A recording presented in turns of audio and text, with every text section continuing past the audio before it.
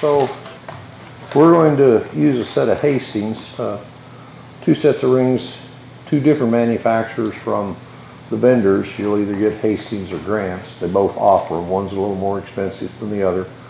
A little difference in design, mainly on the oil ring. Uh, one brand typically will come through with a couple of scrapers and a, you can kind of see the picture, a little uh, spring uh, spacer that goes in place. Some of them come through where they have a, uh, on the on the oil ring, uh, they'll have an expander that goes in behind the oil ring.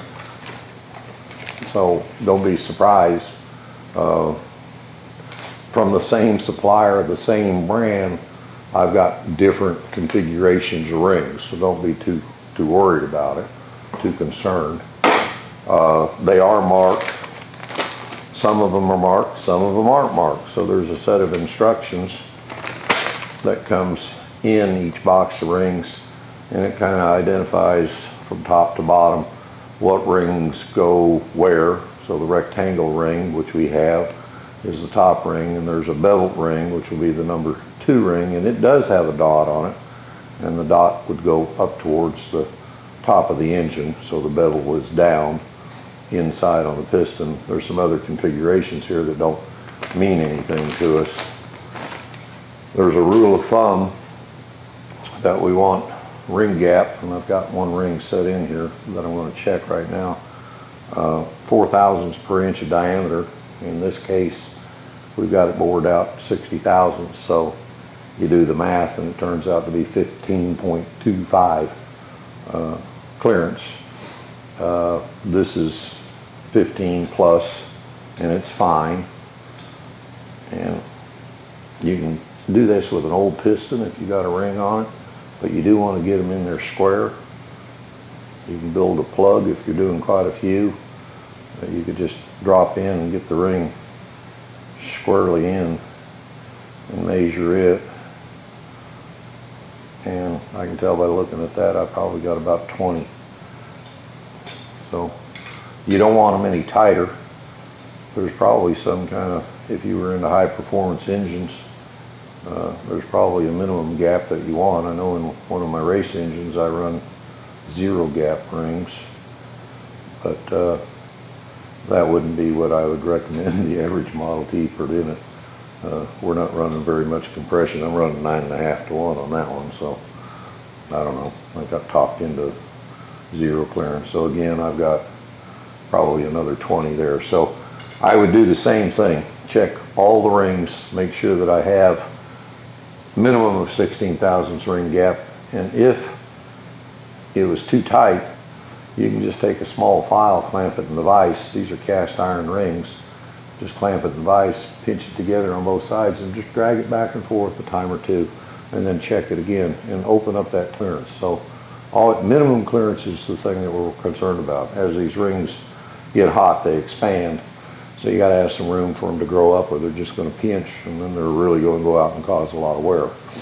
So again, we'll do all four of them and check our, ch check our clear, check our gap, make sure that we got good gap on it. And then we'll assemble the rings onto the pistons and, and, and uh, start, start the process of putting all the pistons into place.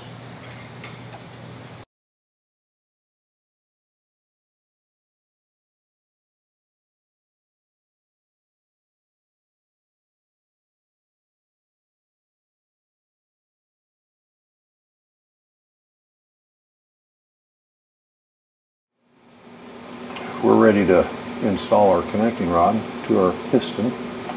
We know that we want to have the wrist pin towards the cam and we want the expansion slot.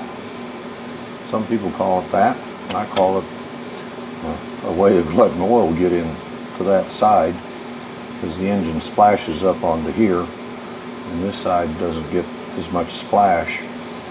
And uh, so the split goes away from the cam the wrist pin goes towards the cam if you install the piston backwards and this split is on the cam side you'll have a smoker it will throw up so much oil through there that the oil ring can't handle it. Can't scrape it out of the way and it'll start smoking at idle. Don't ask me how I know that. I learned that one the hard way. But anyhow, uh, the other thing that should mention is when we're tightening in our wrist pin bolt, we don't want to grab the rod or grab the piston. So just a, an alignment tool of some sort supports the piston. And when I go to torque this thing down to, oh, 25 pounds or whatever, I want to end up where my cotter pin hole is in such a place that I can wrap the cotter key around the rod. Just putting the cotter key in that thing without it being attached to something well, it doesn't do any good. And I find an awful lot of engines with cotter keys in there, and it just doesn't do any good. I mean, it it, it could back out. Uh, some people don't use the cotter key. Uh, lock washers will work here too. Uh, it's just whatever you prefer. Uh, I go ahead and put it together the way Henry did, so I use a cotter key. Another technique is uh, put a piece of safety wire and wrap around the rod and through the through the hole just to keep it from backing out.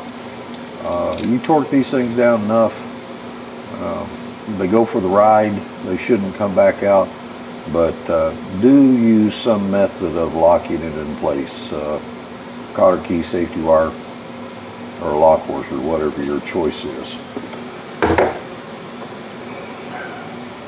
So we'll start, and we want to put a little lubrication on our rod, wrist pin. The wrist pin also has a notch in it, and that notch is so when the bolt goes through the rod, that wrist pin now is locked in place because that bolt shoulder is right up into that into that groove. Uh, and you ought to take a little care of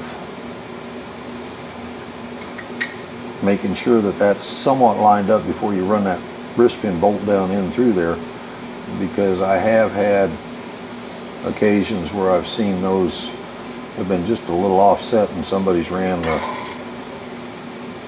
ran the uh, bolt down through it and galled it.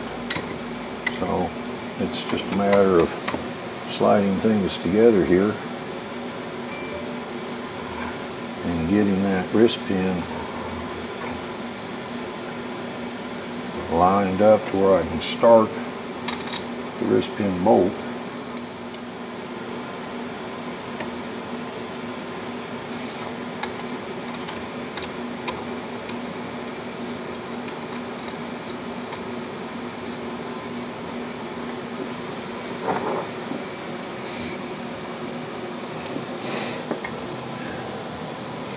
I've got it started and I'm just going to run her down in there.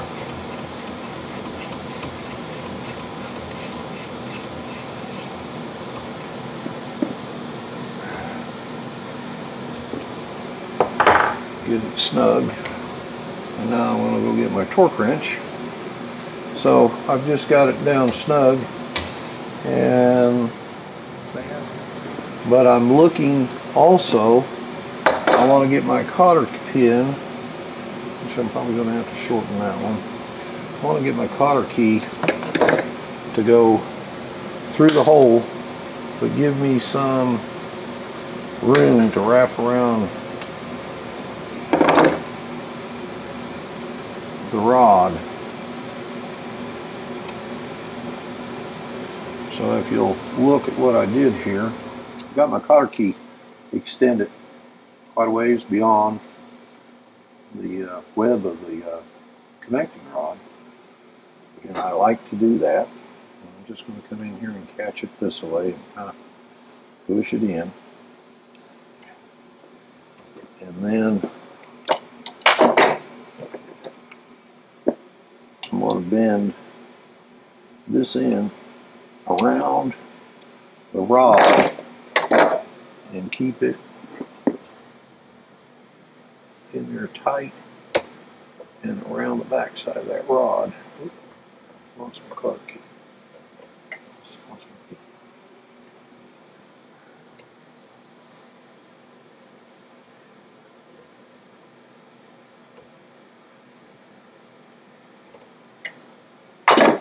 So I've wrapped one leg of the car key around the rod web.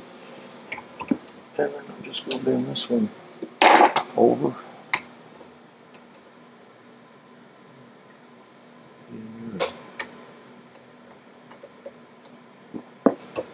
Close it around the bolt. Another shot at this. And so I've got my I've got my wrist pin in there, or my um, key in there solid, and it's wrapped around the rod. So if the bolt was to back, try to back out, it's got to work against this leg of the car key going around. Like I said, just put the car key in here, just without it being hooked around the rod, doesn't do any good.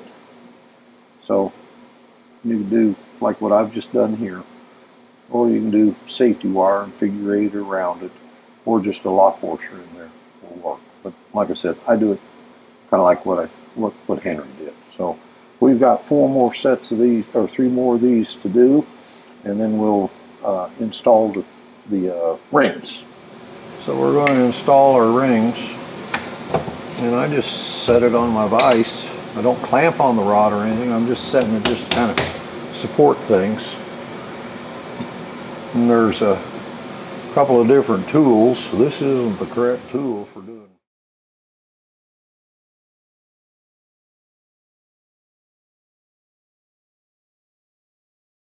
Informed me that when we shot a lot of the video on installing the connecting rod and the piston, we uh, we didn't have the proper tool. So we went out and got one, and we were so thrilled that we got it. We came back and we installed the rings and didn't film it. So I'm going to cover that right now.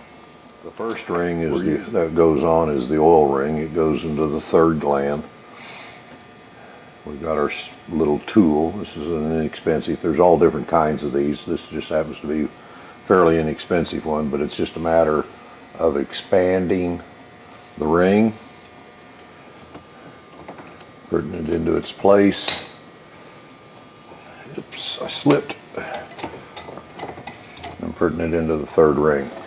The second ring, the uh, paper, there's paperwork that comes with the rings. And the second ring is identified, uh, has a bevel on it. And the bevel in this case goes down and they do have a dot. Sometimes these rings are not marked, so you have to really follow the instructions, but this one has a dot, so the dot goes up. Again, I'll just expand it and put it into its appropriate gland. And the top ring, in this case, is just a rectangular shaped ring. It doesn't make any difference. There's no top or bottom to it. Uh, different manufacturers of rings that you will get, and even from the same manufacturer, you will get different configurations of rings from Hastings that still works for a Model T. Uh, so there's there's different types. So make sure that you look at the instructions, check for dots, dimples, anything that, that would identify what goes where. We'll install our top ring, compression ring, and that's our three rings. And you'll notice that they are quite loose and we'll use a ring compressor when we go to install them. If you don't get those compressed down, you'll break these rings going in. Um, orientation of the of the uh, gap is you want to make sure I, I like to set them up about a third away from each other so I just split them I don't know that there's a, a, a more appropriate way or not but I just kind of set them around to where gaps here, gaps here, and a gaps here. And we have already checked the gap on our rings in a, in a, in a prior segment of our video presentation here. So I know that the, I know that the gap is within acceptable limits. So this piston is together and uh, ready to be lubricated up and installed in our